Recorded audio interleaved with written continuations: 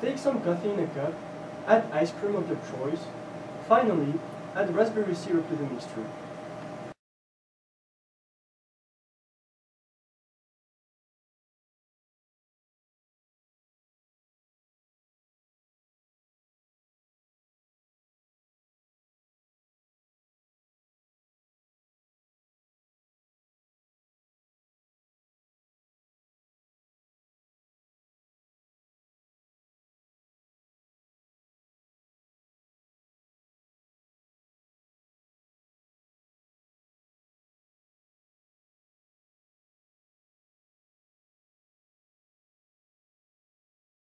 Thank you.